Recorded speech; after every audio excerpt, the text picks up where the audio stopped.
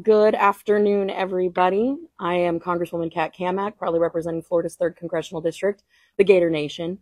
And uh, I want to thank you all for joining us. Uh, I want to take a moment to thank my colleagues, Senators Paul, Lee, Schmitt, and Representative Van Orden for joining me to discuss one of the least sexy, but probably most important issues that we're contending with right now, and that is restoring Article 1 authority, aka draining the swamp. As you all know, the Supreme Court issued a landmark 6-3 decision in Loper Bright two weeks ago, overturning the long-standing Chevron doctrine and reaffirming Congress's uh, that Congress makes the law, not federal agencies, and the judiciary is the final interpreter of the law, taking it out of the hands of unelected, nameless, faceless bureaucrats. Now, again, I think we can all recognize that regulations don't exactly get the blood pumping of busy, hardworking Americans, but let's face it, they have better things to do than to read the 2023 Federal Register, which clocked 90,402 pages. That is the second largest Federal Register in American history. You heard that right. 90,402 pages of regulations. And quite frankly, that should terrify Americans because it represents 90,402 pages of swamp creatures, also known as bureaucrats, slowly taking away the due process and rights of everyday working people. The Supreme Court ruling cracked open the door two weeks ago for change, and it is now our responsibility as representatives of the people to restore transparency, accountability on behalf of we the people. Now, as many know, I'm the proud sponsor of the REINS Act, which is the largest regulatory reform effort in American history. And in the House, it is still known as the most popular bill in the House of Representatives. It's simple.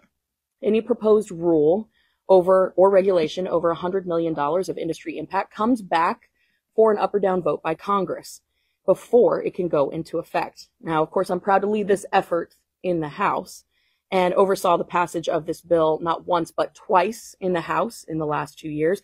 And it has been attached to every single appropriation package in every single title, sans uh, Milcon VA, for the last two years.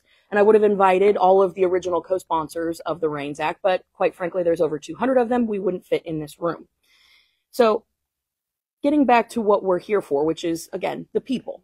It should infuriate Americans that for decades, some of the most important policy questions have been decided by unelected bureaucrats, not their elected representatives. The Clean Air Act, the Clean Water Act, the Patient Protection and Affordable Care Act, also known as Obamacare. The list can go on and on and on.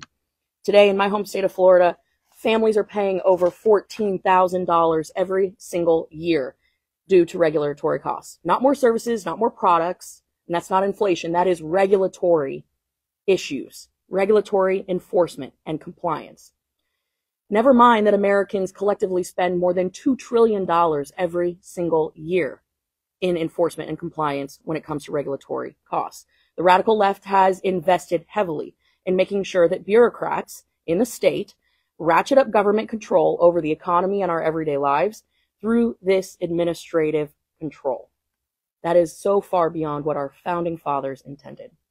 So we've reached this moment of truth for administrative and regulatory policy. We must commit to uphold our Article 1 power and ensure that Congress is the chief law making body, not bureaucrats in a basement somewhere in downtown Washington. It's time to put the American people back in charge. And at this moment, with REINS Act and my colleagues with me. I'm pleased to turn the microphone over to my good friend and colleague, Senator Rand Paul, for an exciting announcement on the REINS Act and for some of his thoughts on the recent Supreme Court ruling.